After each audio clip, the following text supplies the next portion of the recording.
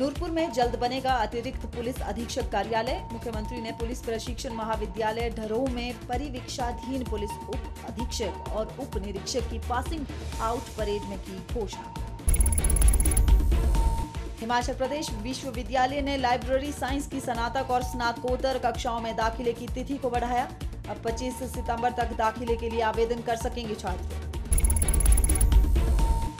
Congress party ने नेता राजीव शुक्ला को सौंपी प्रदेश प्रभारी की कमान। पूर्व प्रदेश प्रभारी रजनी पाटिल को बनाया गया जम्मू और कश्मीर राज्य का प्रभारी। भाजपा प्रदेश में इस वर्ष भी सेवा सप्ताह के तौर पर मनाएगी प्रधानमंत्री नरेंद्र मोदी का जन्मदिन।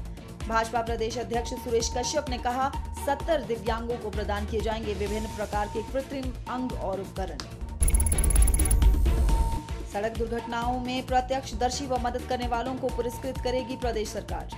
दुर्घटना में सहायता करने वालों को परेशानी से बचाने के लिए परिवहन विभाग द्वारा उठाए जा रहे कदम। ऊना के प्रसिद्ध धार्मिक स्थल डेरा बाबा योगी पंगा के पास अज्ञात लोगों ने पाँच बैलों को पहाड़ी से नीचे फेंका। चार बैलों की मौत, एक की हालत गंभीर। लोगों की आरोपियों के खिलाफ सख्त कार्रवाई की मांग। किन्नौर जिला दंडाधिकारी ने अनुचित तरीके से बीपीएल बनकर सस्ता राशन लेने पर सात लोगों पर जुर्माना लगाया। डेढ़ लाख रुपए की वसूली।